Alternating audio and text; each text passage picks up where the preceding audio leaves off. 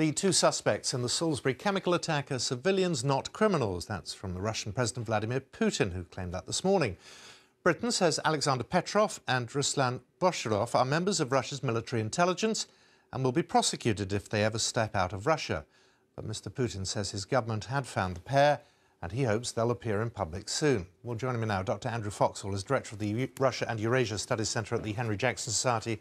That's a foreign policy think tank that advocates robust spreading of liberal democracy and free market economics. Good afternoon to you. Good afternoon. So, what's his game?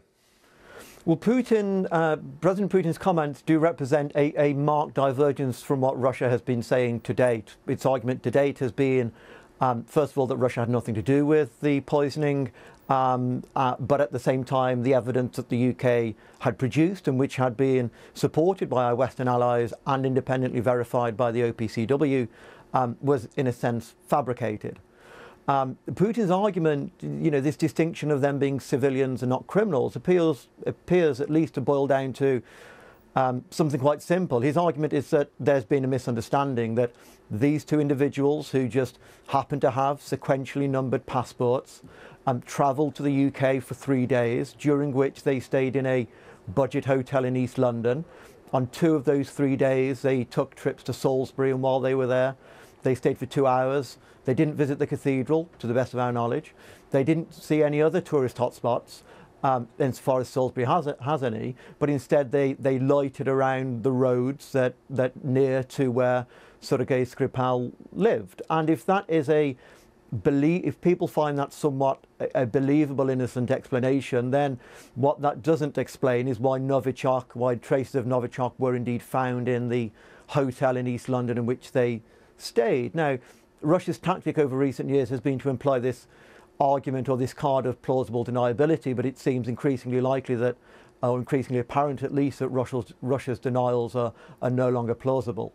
Do you think we will actually see these two appear in front of the cameras? And will it be the two that we've seen the CCTV of? Or will there be, I don't know, a mysterious car crash where they might not be able to appear?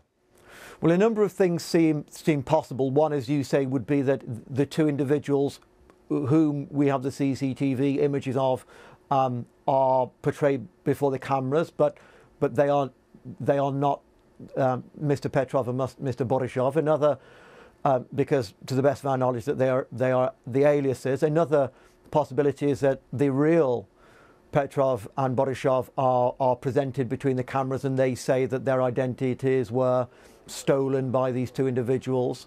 Um, another may be that that you know, a composite of those two uh, those two things take place. It seems to me, at least, that one of the most interesting questions is um, is why now? Um, Putin is hosting the Eastern Economic Forum um, in Vladivostok at the moment, as part of which he is wining and dining uh, the Chinese Premier Xi and a number of other um, East Asian leaders. He clearly did not want the Skripal affair to overshadow that.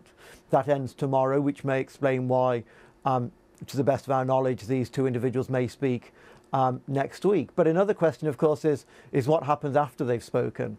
The, the best parallels that we can draw, of course, is 2006 when, with the murder of Alexander Litvinenko, um, the, one of the two suspects, one of the two chief suspects in Litvinenko's murder, Andrei Lugovoy, not only appeared before the TV cameras, um, but of course subsequently was effectively appointed to Russia's parliament in 2010 and therefore given diplomatic uh, immunity from prosecution both within Russia and abroad. Mm. It's fascinating. And Dr. Andrew Foxall, thank you so much for joining us.